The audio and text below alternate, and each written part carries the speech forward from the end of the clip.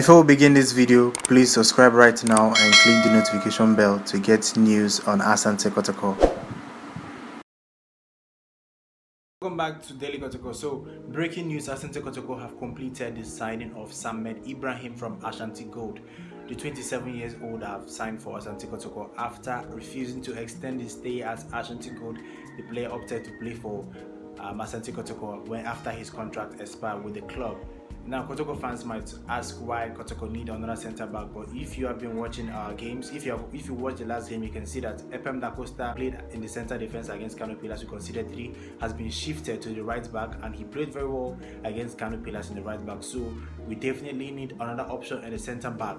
Wahab Adams um, is in the bench, and the coach has preferred Habib Mohamed Ajimambadu um, instead of him. So I feel that we definitely need another centre back.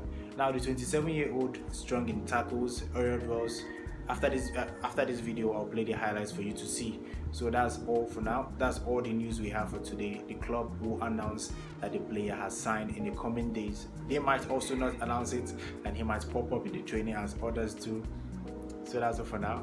Till next time, guys.